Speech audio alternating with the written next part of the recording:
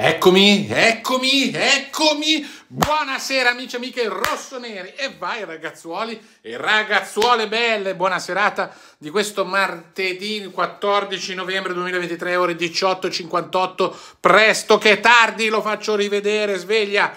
Sveglia, svegliatevi ragazzi, è tutto bello fresco, eh? ve lo faccio rivedere un'altra volta, basta, finito qua. Allora ragazzuoli e ragazzuole, come dico sempre io amichevolmente, affettuosamente nei vostri confronti. La situazione per il nostro Milan è drammatica, soprattutto mh, vedendo che eh, chi è in difficoltà fa il cambio dell'allenatore in panchina, come ho detto ieri Real Madrid, cambio del vertice dei preparatori atletici, dottori, tutto quanto lo ripeto, all'interno del Real Madrid, insomma, noi praticamente stiamo qua a guardare eh, Furlani di ritorno eh, da eh, Dubai, praticamente chiedi a Pioli, ma eh, mister, ma come mai? Ma la preparazione atletica di quest'estate com'è andata? Come sono andate le cose? Cioè, mm, allora io dico anche a Furlani una cosa, ma eh, dottor Furlani, Giorgio Furlani, adesso ti do del tu perché ti ho sempre dato del tu, ma cosa ti aspetti come risposta da mister Pioli? Che ti dica, no guarda eh, Giorgio, è stato un po' un disastro la preparazione atletica, no i nostri dottori non sono tanti bravi, no ma guarda che sono infortuni che succedono, si gioca troppo ogni tre giorni, eh, questi si spaccano, sono un po' sfigati i nostri giocatori, basta, ma noi non ci abbiamo... Ma eh, Giorgio Furlani, ma amministratore delegato del Milan. Ma cosa pensi di trovare come risposta da Pioli una roba che lui ammette le sue colpe? Ragazzi, così non va bene. Così non va bene.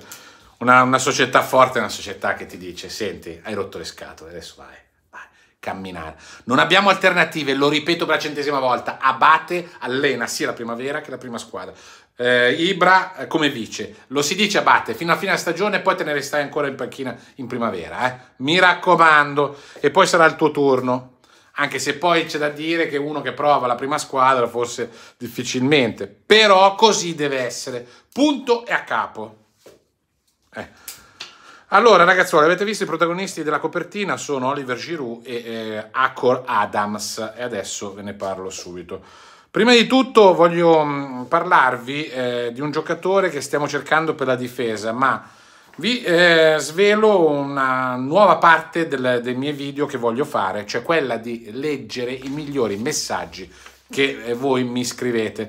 Io questo qui l'ho stampato, l'ho scaricato dal mio telefono alle ore 17.49, l'interessato oggi il vincitore del, del messaggio che mh, mm, ha attirato molto la mia attenzione, che ve ne voglio parlare brevemente in video è questo eh, ragazzo, questo uomo, che è eh, Danzo Online 4479.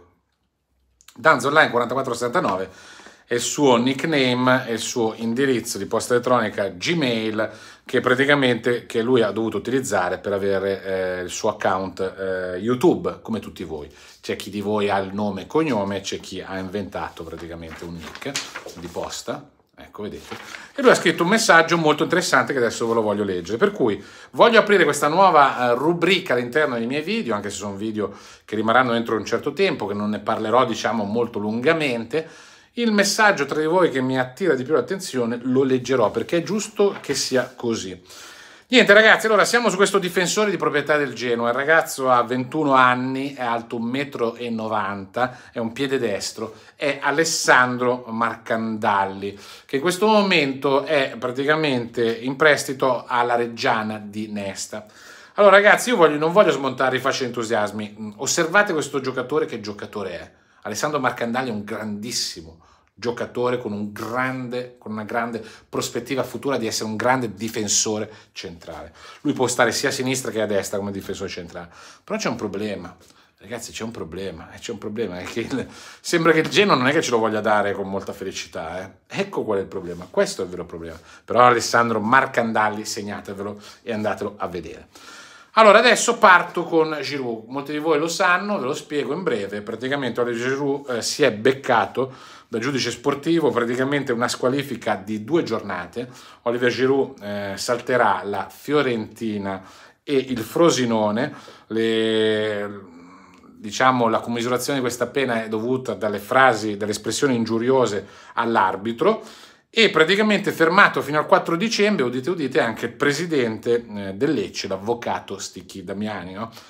Per il comportamento assunto a fine gara negli spogliatoi, eh, per cui Giroud ritorna contro l'Atalanta e niente ragazzi, io ve lo dico sinceramente, ci poteva andare anche molto peggio, punto a capo, dai, su, diciamoci la verità. E adesso vi parlo dell'altro eh, giocatore che avete visto in copertina di origini africane, Akor Adams. Akor Adams, io l'ho visionato ieri per la prima volta, molto bene, molto bene. Vi dico la verità, a mio modo di vedere, non dico che è più forte, ma mm, secondo me... Mm, Sto parlando, sto paragonando a David del Lille. Allora, David è sicuramente un ottimo giocatore, che però adesso è un po' involuto nel Lille, cioè praticamente non sta facendo molto bene. Akor Adams invece, il 23enne, alto anche lui, 1,90 m come Marcandalli, Alessandro Marcandalli, eh, praticamente eh, con il suo Montpellier sta facendo eh, furore. E andatevelo a vedere, Akor Adams, Akor con la K Adams, che giocatore è? Ragazzi, questo giocatore dobbiamo prenderlo per forza, lo avete letto nel titolo. È obbligatorio che a gennaio noi portiamo a casa l'attaccante, la punta centrale. Perché non è stato fatto quest'estate, molto probabilmente per motivi di bilancio e tutto il resto, perché noi siamo molto attenti ad avere un bilancio, siamo i più ricchi d'Italia, questo è vero, tutto il resto, però bisogna anche un po' azzardare e praticamente entrando Nell'anno nuovo possiamo anche azzardare l'acquisto di Acor Adams. Per me eh, David non viene a gennaio neanche, neanche, a pregare in qualsiasi lingua del mondo. Acor Adams, andatelo a vedere con la K, Acor Adams, eccezionale. Veramente un gran giocatore questo qua. E adesso arrivo praticamente al messaggio scritto da questo caro amico, o amica, ma io... No, Danzo, per cui Danzo dovrebbe essere uomo, eh, praticamente eh, che mi ha scritto eh, nel mio video di ieri, nel video che ho fatto ieri, ovviamente i messaggi che voi mi scrivete li posso leggere il giorno dopo. No? Allora, io prima di tutto ringrazio tutti voi che eh, mi scrivete parole d'affetto, grazie per dire queste cose che dici Alex, io la penso come te. Io ragazzi, io leggo tutti i vostri messaggi.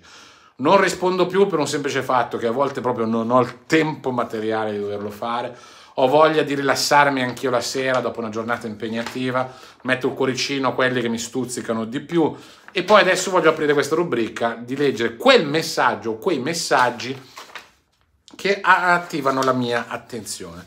E questo Danzo Online eh, praticamente dice una cosa giusta, eh, ragazzi, dice una cosa molto giusta, adesso ve lo leggo, faccio rivedere, eccolo qua. Eh. Allora, lui scrive questo, non si parla mai di Milan Lab e Tognaccini che condizionano tutto l'apparato fisico e atletico del Milan. Anche con Allegri era successa la stessa cosa, infortuni. Solo Sedorf ebbe il coraggio di sbarazzarsi de- dello staff e scegliere un solo preparatore ai suoi ordini. Il risultato fu che nel girone di ritorno il Milan non ebbe un infortunato e ci fu una crescita generale della squadra.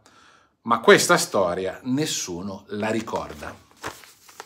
Danzo Online ha perfettamente ragione. Clarence Sedorf sono andato un po' a, indagare nel passato online. Clarence Sedorf fece questa decisione e non ci fu più nessun problema fisico per il Milan.